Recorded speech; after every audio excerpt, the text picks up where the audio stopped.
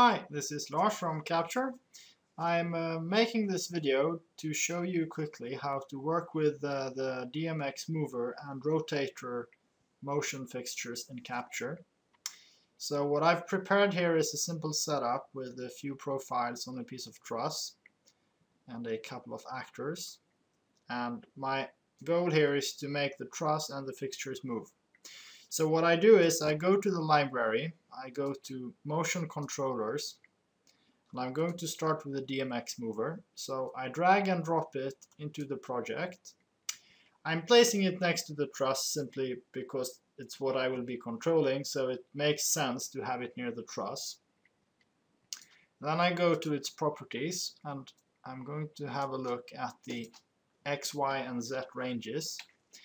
These control how much I can move the truss and the fixtures. And in this case I'm just interested in uh, hoisting them up and down. So I'm going to remove the X and Z ranges and give it a Y range of 6 meters.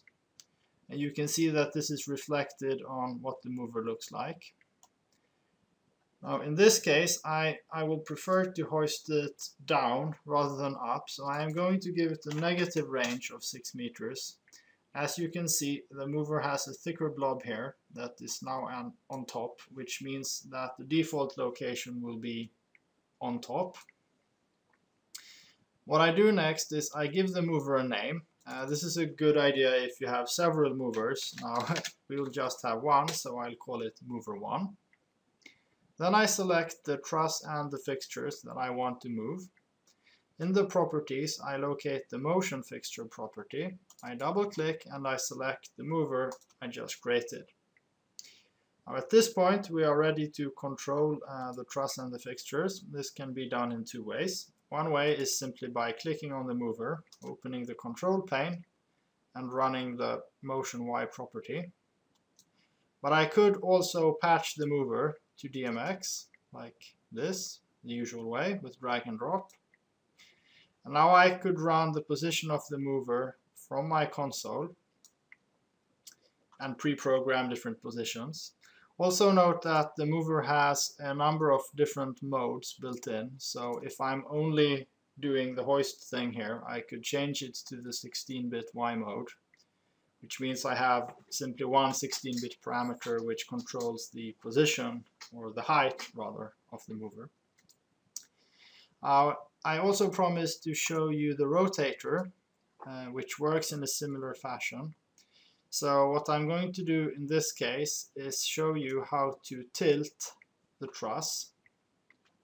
First I will adjust the position and uh, the rotation of the mover so that it's actually vertical.